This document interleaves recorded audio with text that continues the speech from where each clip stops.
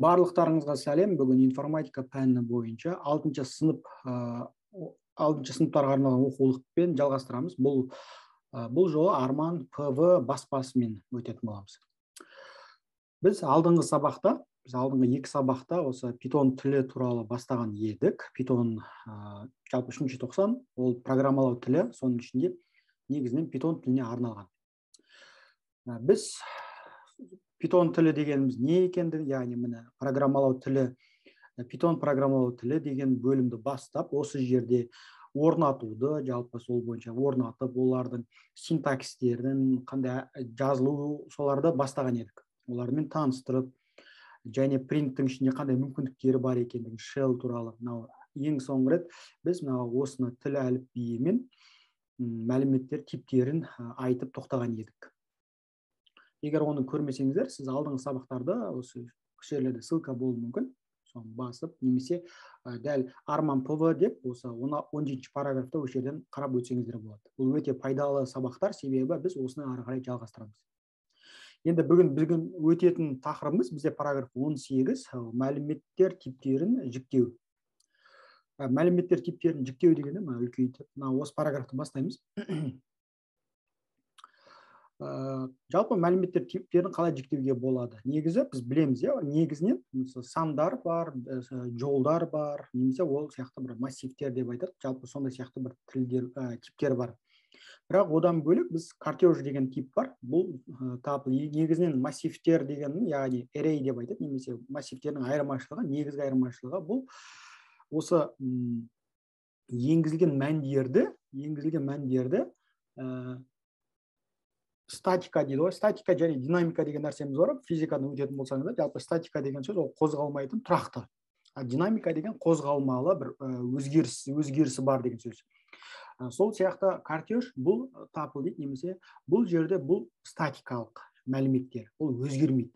Ол дегенім ә, не үшін қажет дейтін болсаңыздар кейде болады. Мысалы бір мәлімет енгізіп оны өзгертуіміз де мүмкін. Бірақ кейде болады біз ол мәндерді өзгерте алмайтындай бір шектеу болу керек. Сол кезде картеждің қолдану өте жақсы. Екінші жағы ол тұрақты болғандықтан яғни тұрақты мәліметтер болғандықтан ол жерде сыйымдылығы да ондай үлкен емес. Сол үшін бұл жерде мысалы үлкен үлкен операциялар жұмыс істеген кезде картежбен жұмыс істеген кезде ол жылдамырақ жұмыс істелінеді.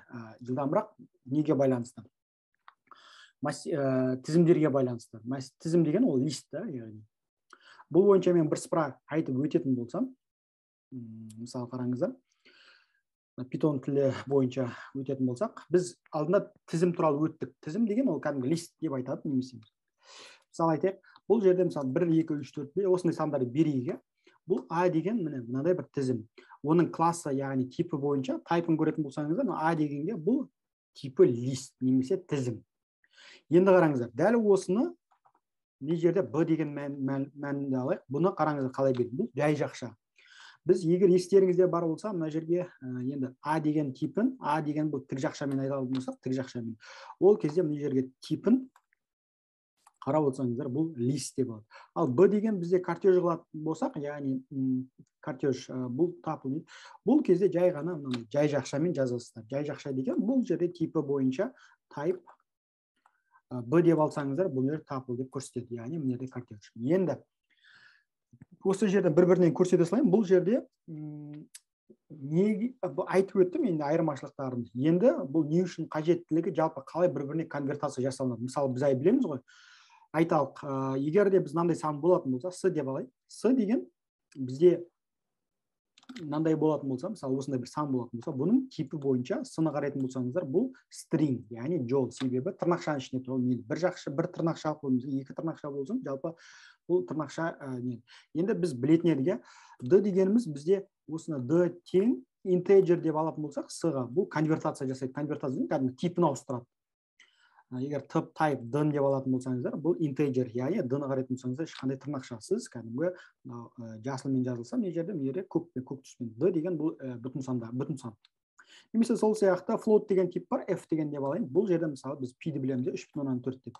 Бұл жерде типі бойынша f ті қарайтын болсаңыздар бұл ә, float.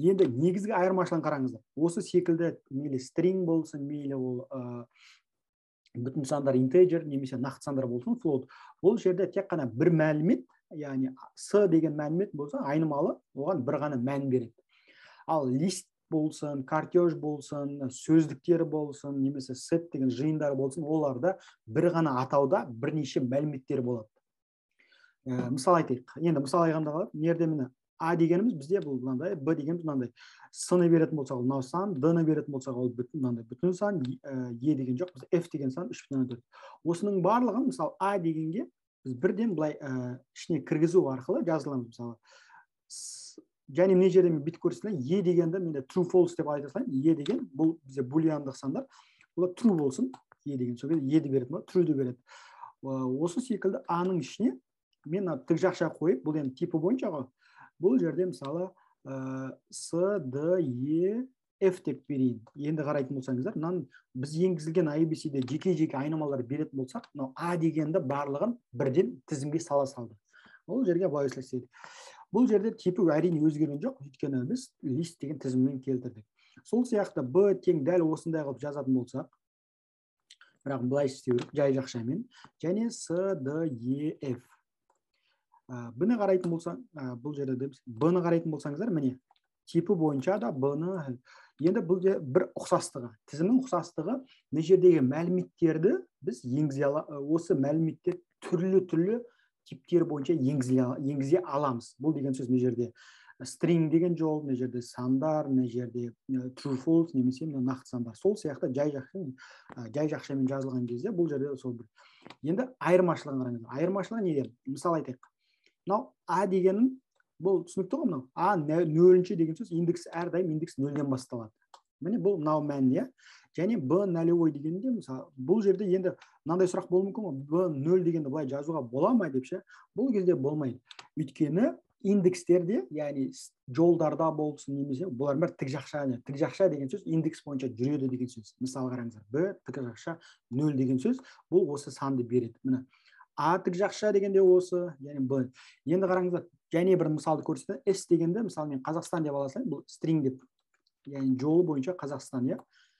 С дегеніміз ол сөзді береді. С нолевой бұл жерде осы к деген бірінші әріпін яғни кей деген әріпті яғни ағылшынша жазып алдым кей деп казахстанда. Кей деген бұл нөлінші индекс сонда қарайтын болсаңыздар а нолевой б нолевой және осы сияқты секілділердің барлығын бұл индекс бойынша жүргендіктен алғашқысы деген мағынаны білдіреді. Алғашқы индекс алғашқы индекс бойынша бізде мынау мына жерде мынау не енді қараңыздар мынау біз енді а және б мен алып, алып жатырмыз а және б дегені. Айырмашылығын енді түсінікті ұқсастығы енді айырмашылығы айырмашылығы егер де айтайық а нөл дегеніміз бізде мынау мән. Осы а нөлге біз тең қазақстан деп айтатын болсақ немесе сәлем деп па мысалы сәлем деп жазатын болсақ енді аны қарайтын болсаңыздар мына жерден бірден өзгерді. Яғни мынау бізде басында мынандай екі жүз қырық бес болған еді яғни екі үш төрт бес деген ә, стринг стринг яғни жол типіндегі сан бар еді. Біз оны өзгерттік. Енді біз б өйткені а нолевойды берген сайын бұл аның өзін берген сайын бұл а типі бойынша мынау сәлем сәлем дейді. Өйткені алғашқысы мына жерде өзгеріп кетті. Енді б дәл сол секілді б нолевой біз білеміз иә бұл сан еді. Сан типінде бірақ осыны өзгертейін десек мысалы бұны әлем деп әлем деп.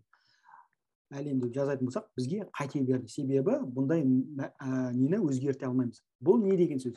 Біз осындай мәнді беріп алғаннан кейін яғни біз мына ішінде толтырып алғаннан кейін біз оны өзгерте алмаймыз. Бұл негізгі айырмашылығы.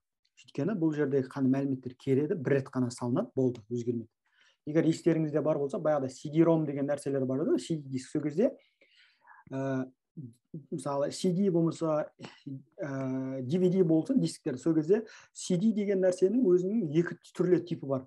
Бір рет қана жазылады болды. Сол сол диск мәңгі бақи оны өзгерте алмаймыз.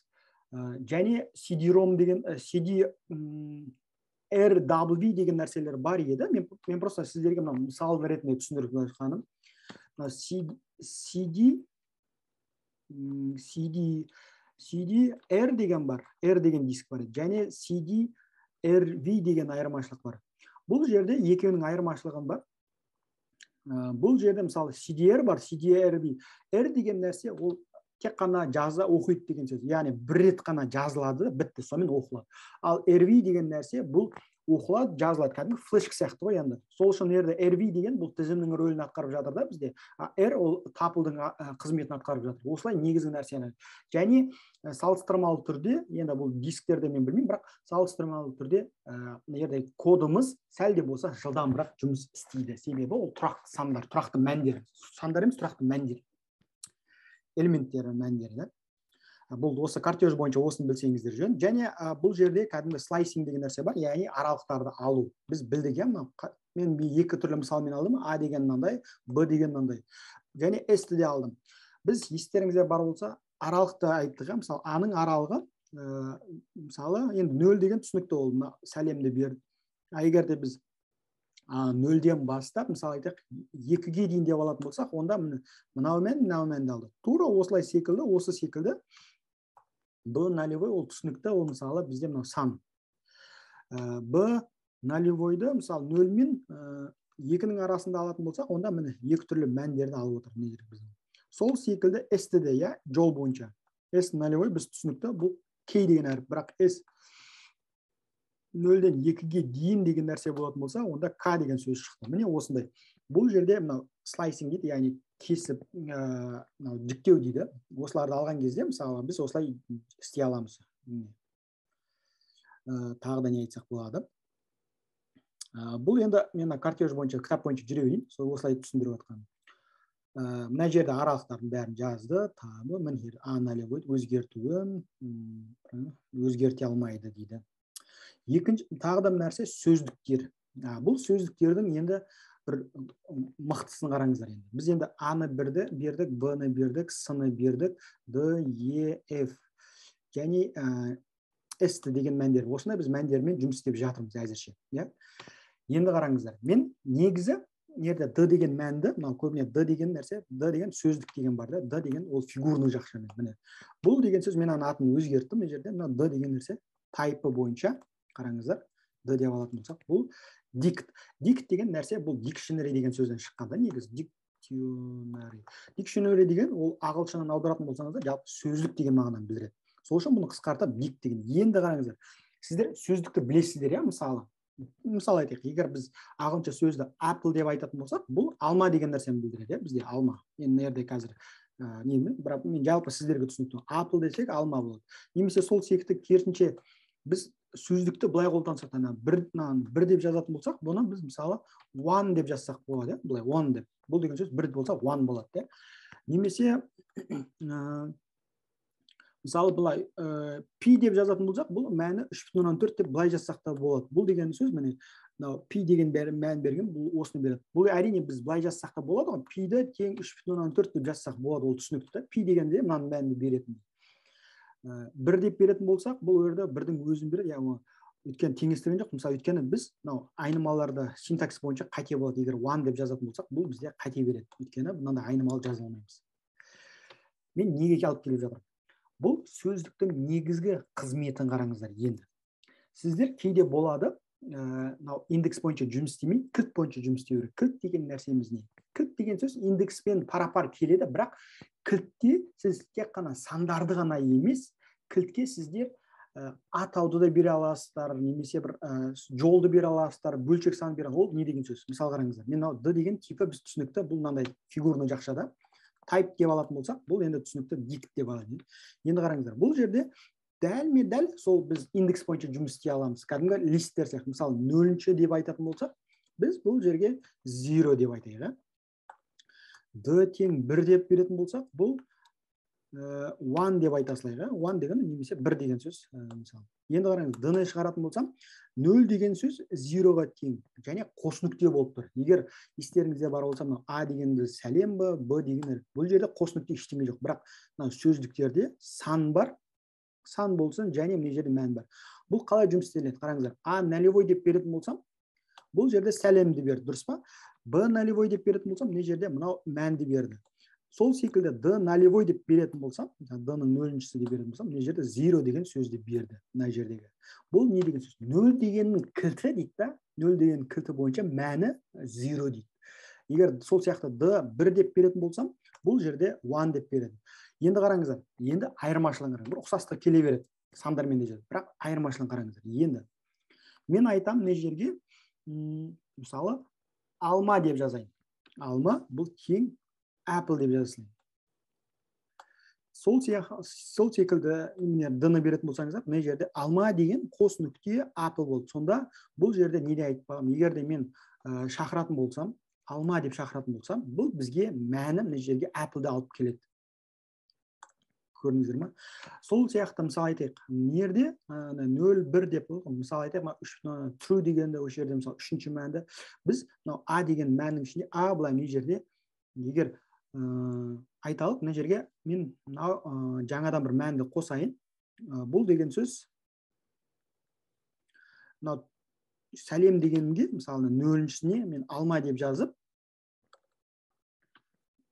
apple деп apple деп жазып мына жерге аның бәрін бердім бірақ мен а мына жерге алма деп жаза алмаймын алма деп жазсам бұл бізге онда қате береді бұл өйткені индекстер бойынша картеж ә, тізімдер тек қана индекс бойынша жұмыс істейді яғни сандар бойынша нөлден бастап сол ұзындығы біткенше ал сөздіктерде сіздер кез келген сандар да болсын нені де қоя бересіз мысалы қараңыздар егер де мен д ны бердік д деген мына жерге мен мына жерге үш бүтін оннан төрт деп берейін иә кілті бойынша бұл бізге пиді берсін пи деген жазуды шығарсын егер де мен д ны қарайтын болсаңыздар міне пи дегеннің кілті мынандай үш бүтін оннан төрт деп кілт жазатын болсақ мына пиді жазып береді бұл не деген сөз мысалы қараңыздар д деп мен әрине пи деп жаза алмаймын себебі пи деген нәрсе жоқ пи деген нәрсе жоқ мынандай жоқ бірақ біз д өйткені біз мына жерде әрдайым ә, егер мынау массив тізімдерде ә, картеждарда индекстері бойынша жұмыс істеймін мына жерде кілтін жазу керек кілті мына қос нүктеге дейінгісі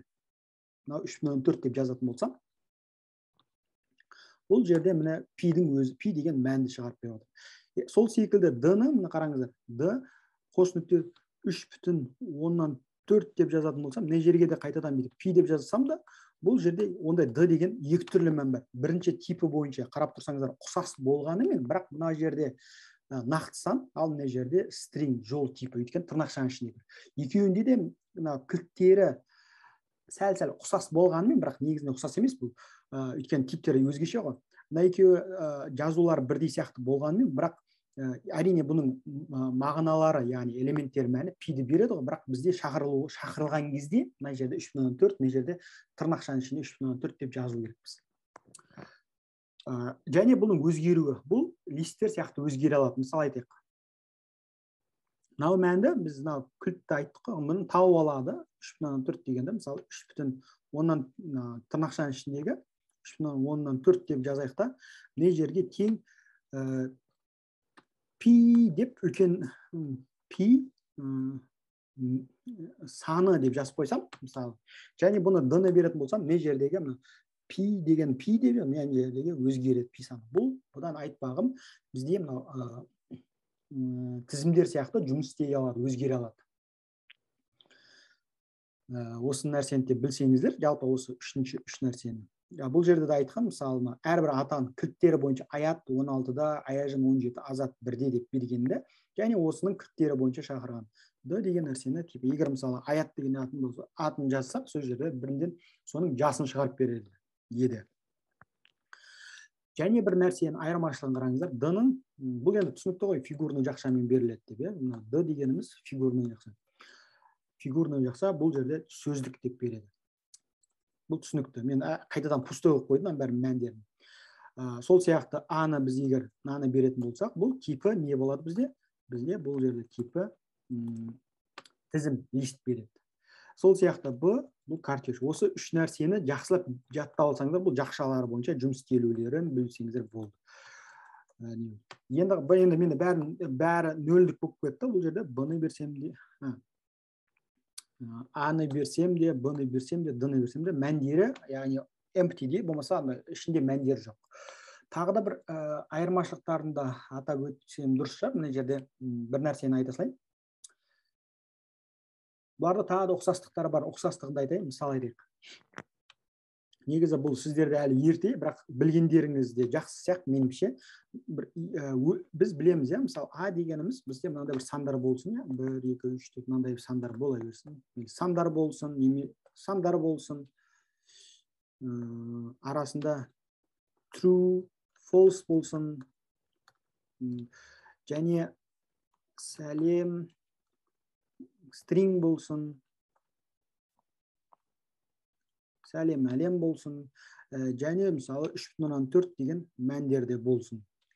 Ә, минус таңбаларда болсын минус мысалы мынандай сан бұл жерде айтпағым мынандай бір. Енді осы секілді қараңыздар не болады? Егер де ә, бұны мен бір біріне өзгертулерін көрсетейін. Бір біріне өзгерткенде қалай өзгереді? Бұлардың өзгеруі бойынша мына жерде мысалы а деген нәрсені бұл түсіндік бұл лист өйткені тік жақшада.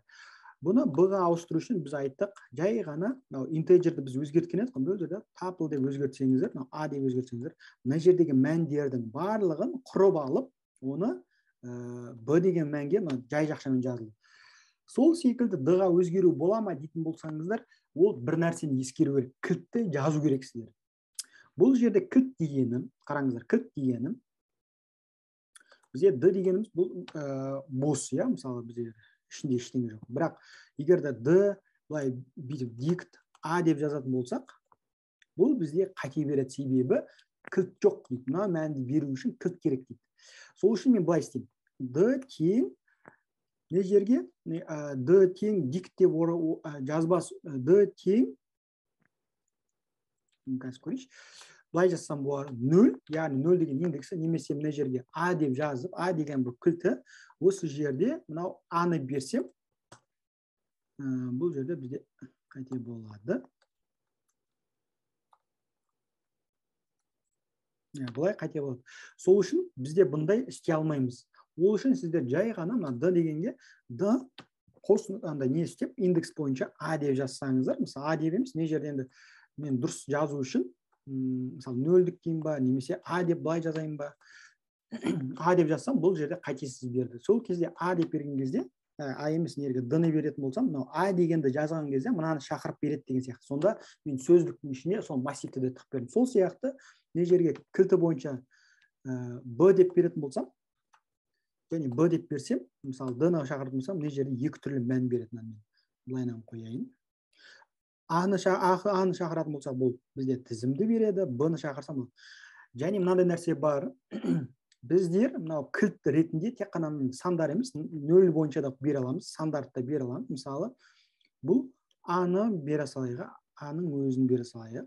Сол кезде д ны беретін болсаңыздар а нөл мына жерде берді. Енді тағы бір нәрсені көрсеткім келіп жатыр. Мына жерге а деп беретін болсақшы және а деп беретін болсақ бұл жерде қайтеді бұл деген сөз біз кілт яғни кілт ол сөздік бола алмайды. Ол сізде ә, не бола алады? Яғни сізде д деген сөздік бола алмайды. Бірақ д б тең б деп берсек бұл жерде болды. Бұл не деген сөз? Қараңыздар. Мына жерде кілті бойынша мына ұзын болып кетті. Мен сіздер енді сәл мен сөзіме түсінбей қалуы мүмкінсіздер бірақ ә, негізгі нәрсені қараңыздар. Мынау мынау деген кілт мынау кілтті беретін болсақ бұл мәндері мәнде береді бірақ мына жерде аның а деген тізім бола алмайды. Бірақ тапл ретінде болады бұл деген не мысалы мен қайталап д мынандай д деген сөз мен аны қайталап бос қылайын да д деген бос иә. Бұл деген сөз бұл ұқсас та мынандай сияқты мысалы қараңыздар. Егер де мен аны нөл деп бердім ол бізде мысалы зиро деген мән берсін д ны қарайтын болсаңыз сол секілді мына жерде мен бұл былай жаздым деген сияқты ғой мына жерде? Егер де мен былай былай емес бүйтіп беретін болсам. Мына жерге? Мысалы сәлем әлем деп беретін болсам бұл менде мысалы қазақстан деген мән берсін қазақстан. Сол кезде д беретін болсам міне күлті бойынша. Және осы секілді мен мына жерде егер жақшаның ішінде мысалы жақшаның ішінде болсын. Кәдімгі жай жақша деген бұл бізде картеж ғой. Енді бұны мысалы картежге былай бірнеше мәндер бере берейін. Бұл картеж деген нәрсені береді да. Бұл жерде мен сандар деп бере салайын. Сол кезде мына жерде кілті мынау кілті болып тұр. Қарап тұрсаңыздар кілті бұл сандар деген береді бұл деген сөз мына жерге мен мұны шақыру үшін мен әрине мен былай жаза алмаймын. Былай жаза алмаймын. Өйткені бізде қате береді. Ондай нәрсе жоқ дейді кілт жоқ дейді және мен былай жаза алмаймын. Жай жақша және жүз жиырма үш деп жаза алмаймын. Бұл жерде бізде де қате бізге мына кілт толықтай жазылу керек. Сол кезде сандар деген мәні шығады. Осы нәрсені де бір ескеріңіздер. Әрине сіздерге ол қазірше керек емес шығар. Дәл осындай болса ғана бізде сандар болады. Яғни біз мына кілттер бойынша жұмыс істеп жатырмыз.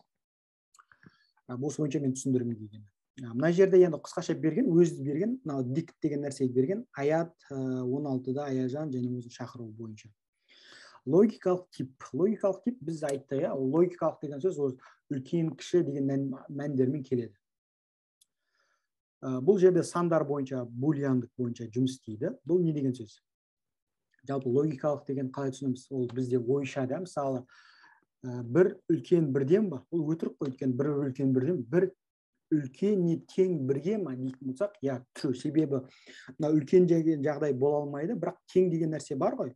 Және сол сияқты тең емес деген нәрсе. бір тең емес бірге ма дегенде өтірік себебі бір бір тең емес мынау тең емес. біз білетін едік қой математика тең деп үстінен тура үстінен тең де емес деп сол сияқты леп белгі алдына кетеді да. Тең емес нөл ма дейтін болсақ немесе минус бір ма бұл жерде иә тең емес себебі бір минус бірге тең емес. Міне осындай нәрсе. Бұл жерде мынандай нәрсе бар. Ә, логикалық амалдар деген нәрсені ә, бұл жерде қосу энд деген нәрселер қолданамыз. Оны қалай қолданамыз? Or деген сөз ол логикалық қосу жоқ энд дегеннен бастайық энд деген нәрсе бар энд деген әрине бұл end деген былай жазады мысалы end деген сөз екі түрлі салыстырады егер дейді да мысалы қалай түсінсек ол логикалық көбейту да логикалық көбейту дегені мысалы қараңыз біз білеміз иә бір көбейту бір тең ол бізге не береді бірге бірді көбейтсек ол бірді береді бірақ бір көбейту нөл дейтін болсақ ол нөлді береді нөл көбейту бір дейтін болсақ та ол нөлді береді.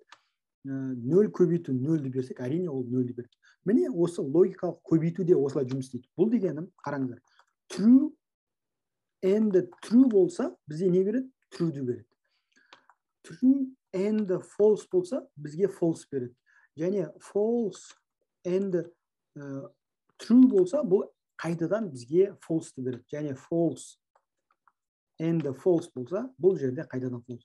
Бұл логикалық көбейту сіз не былай жаздыңыз не былай жаздыңыз не яғни бұл салыстыру бұл қалай қолданамыз мұны мысалы біз біз x деген бір сан берейік иә мысалы ол жүз деген сан болсын енді айтайық ә, біздіңше мына мына жағдайды қарастырып көрейік бұл деген сөз иксіміз үлкен нөлден ба енді иксіміз ә, кіші мыңнан ба деген кезде қандай болады? мына жерде қандай амал болып тұр? Иә жүзден үлкен ғой бұл жерде true мына жерде уже false болып тұр. Мен сол үшін жүз емес мына мың дей салайын иә.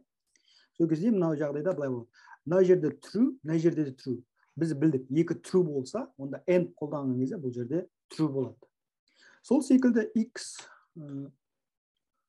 нөлден үлкен енді x жүзден кіші ма деген жазатын болсақ әрине бізде не шығады? False. Себебі мынау true болғанымен мына жерде false. Өйткені бізде біздің алғашқы мән жүз ғой. Сол секілді ә, иксіміз иксіміз тең емес жүзге болсын енді ә, иксіміз қалдығы қалдығынан білеміз иә онға бөлген кезде тең тең нөл деген сөз. Қарап отырсаңыздар бұл жерде false. Не үшін? Себебі біздің жағдайда x жүзге тең ғой ал мына жерде қалдығы деген сөз. Былайша айтқан кезде тағы да бір жағдайды айта салайын. Айтайық. X нөлден кіші яғни теріс сан. Енді иксіміз үлкен мысалы мыңнан болсын. Бұл жерде де false. Мынау да false мынау да false. Енді осыны жеке жеке талқылайық. Бізде x деген мәніміз жүз екенін ұмытпайық. Мынаны қараңыздар. Мына жерде бізде өйстіп қойған кезде бұл жерде true берді. Мынаны қараңыздар. Бұл жерде қайтадан өйстіп беретін болсақ бұл жерде де true. Сонда мынау да true мынау да true болғандықтан бізде не нәтиже true шықты. Сол секілді мынау бізде ә, көрсеттік бұл жерде true.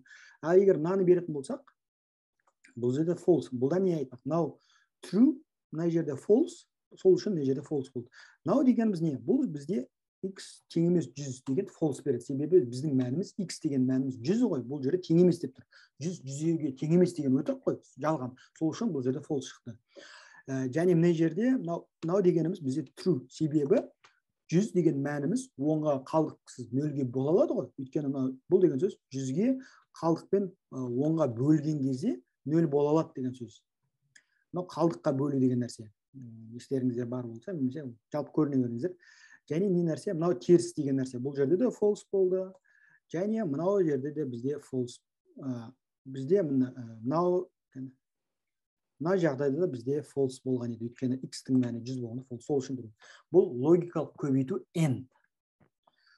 Ә, негізі бұл бойынша мысалы мынандай нәрсе болады. Бір бұл көп жағдайда қанша рет қолдануға болады? End end деген нәрсені. Ә, end деген нәрсені бірнеше рет көрдік оны айтадан кейін енді келесі нәрсе or деген нәрсені көрейік. Or деген нәрсе біз білеміз. Енді мен мысал ретінде көрсете берейін. Бір қосу бір бізде екі яғни бізде нөл шыққан жоқ иә. Бір қосылған нөл бізде бірді берді және нөл қосылған бір бізде бір нөл қосылған нөл бізде нөлді береді. Енді әрине мынаны екі деген бұл былай істейік. Or деген нәрсе логикалық логикалық қосу болғандықтан ол жерде логикалық деген сөз уже нөл немесе бір болу керек. Яғни нөл немесе басқа сан немесе бір деген сан. Сонда ә, бұл жерде or деген нәрсе болады. Яғни true or true болса екеуі де бір болған кезде яғни өйткені біз білеміз ғой ол неге үшін мен бір және бір деп алып жатырмын себебі қараңыздар буль деген сөз бұны бір деп алатын болсақ мына true'ді береді. Сол сияқты буль мысалы екі деп берсек те бұл жерде true болады. Яғни нөл емес болғандықтан. Егер буль нөл деп алатын болсақ қараңыздар нөл деп алатын болсақ бұл жерде false. Яғни нөлден басқалардың барлығы нөлден басқалардың барлығы true болады.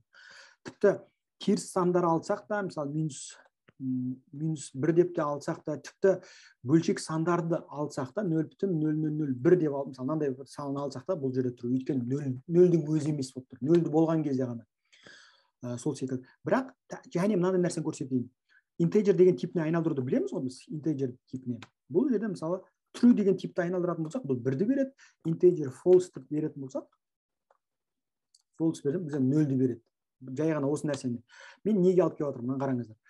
Бұл мына жердегі мән сияқты ғой логикалық көбейту. Мына жерде екі деген ол бәрібір булианға келтірген кезде бұл жерде true ғой сол сияқты. Яғни логикалық көбейтуді қарайық. Егер true басынан жаза салайын true or true болса бұл жерде бізде true болады.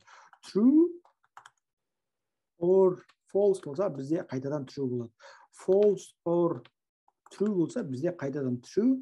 Және false or false болса бұл жерде қайтадан қайтадан бұл жерде false. Бұл жерде логикалық қосу. Яғни орды қолданған кезде сіздер соны ескеріңіздер сіз ойша ойша қосып жатырсыз. Яғни нөл емес жағдай есептеледі бұны қалай қолданамыз?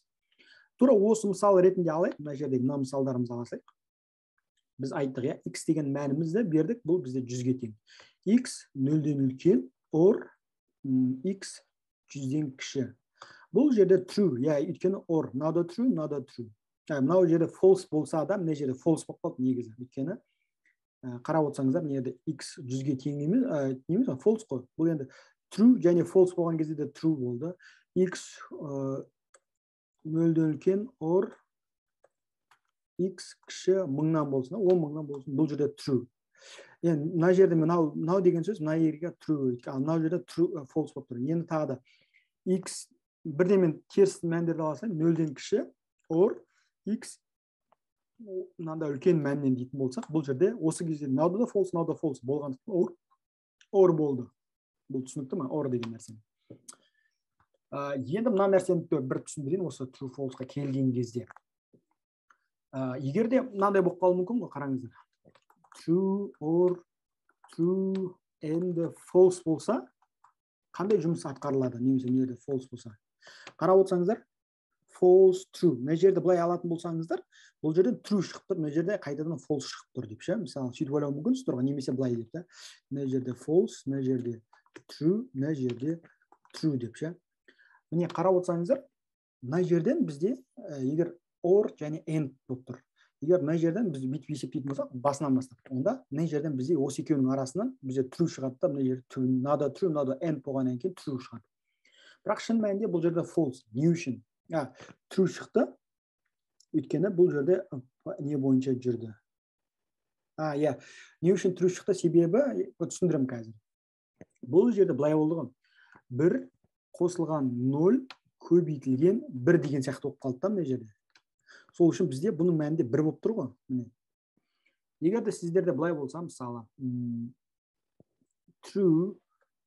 Или былай true. True ма false.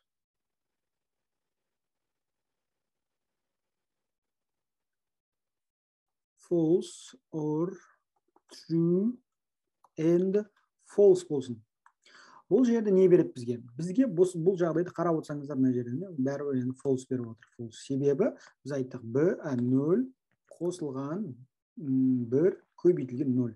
Бұл жерде дәл математика амалдары сияқты яғни біз көбейту бірінші орында алады қосу екінші орында алады. Соны ескереміз.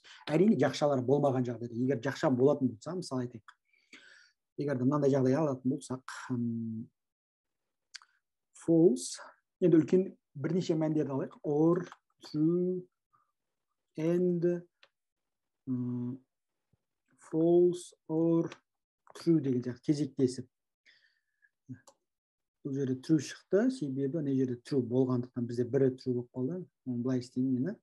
Мен сәл күрделірендіріп мына жерге false қылып мына жерге true берейін.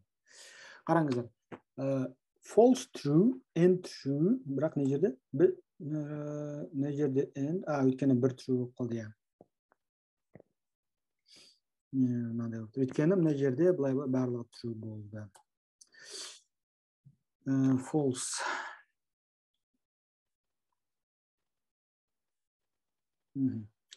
бұл жерде false true false true деп жаздым бірақ бұл жерде бізде мына жерде енді false мына жерде міне бұл жерде енді false болады. Себебі мына жерде де true болғанымен қайталап end болып кетеді.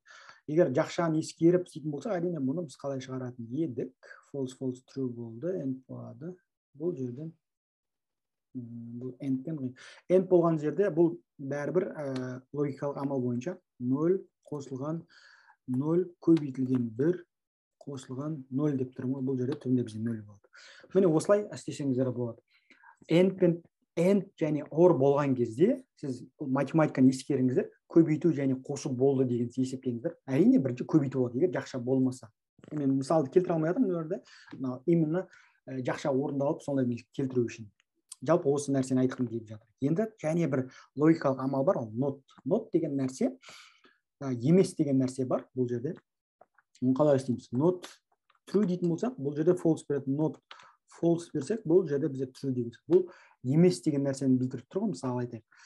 Егер нот ә, қараңыздар бұл былай істейміз мысалы айтайық.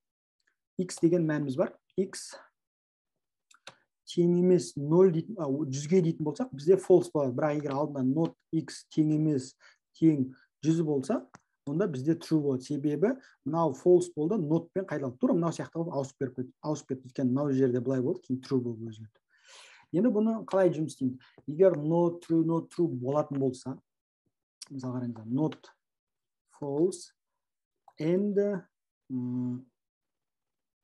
true деп беретін болсақ бұл жерде true берді не үшін қарап отырсаңыздар егер мынамен істейтін болса мынау end болған бұл жерде false болып қайталап true керек. Әрине бұл жерде енді мынай болып кетті.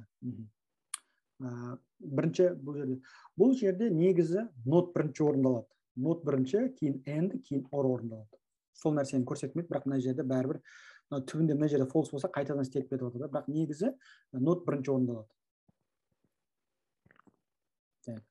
Ә, бұл жағдайда не үшін бұндай амалдар керек? Егер сіз салыстыру шарт операторлары болатын болса немесе бір нәрсені тексеру керек болатын болса немесе бір нәрсені іздеп табу керек болатын болса осы түрлі шарттарды қолдануға керек. Мысалы айтайық біз ә, бізге мысалы максимальный мән табу керек. Енді әлі цикл өткен жоқсыз бірақ сонда да мысалы осылардың ішінен бір тең емес санды теріс сандарды табу керек теріс сандарды бөліп қою керек немесе қалдықтарын табу керек жалпы сондай сияқты секілдерді шарттарды қоятын болса ә, осыны қолдан немесе яки мынау яки мынау болатын болатын болса орды қолданып немесе мысалы ә, мынаған тең емес деген мәнді алып ол мысалы біз ә, айталық бір мәнді іздейтін болсақ сол мәнге тең емес деген мәнді іздеп табуға болады. Жалпы ол шарттарда көбіне шартты операторларда жұмыс істейді. Бірақ одан да бөлек істеуге болады. Бірақ негізінен сол жерде көбірек қолданады. Ә, бұл жерде лой сөз картеж дегеніміз айтты. Ол кәдімгі лист типтес бірақ өзгермейтін. Сөздіктер дегеніміз ол кілттері бар.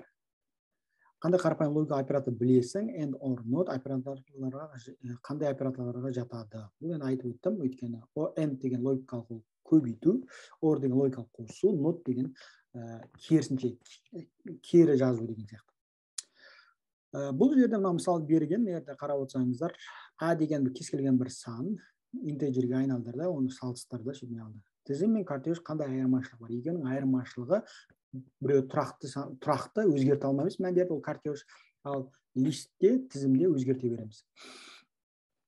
Ә, кілттерге кілт мына кілттер бойынша кез келген кілтті жазамыз. Бағана айттым ғой мәліметтер сөзін құрастыр дейді өздеріңіз құрастырасыздар. Осымен бізде мынау он сегізінші сабағымыз бітті. Егер сұрақтар болып жатса осы жерден сұрақ қойсаңыздар болады. Келесі сабақтарда жүздескенше сау аман болыңыздар.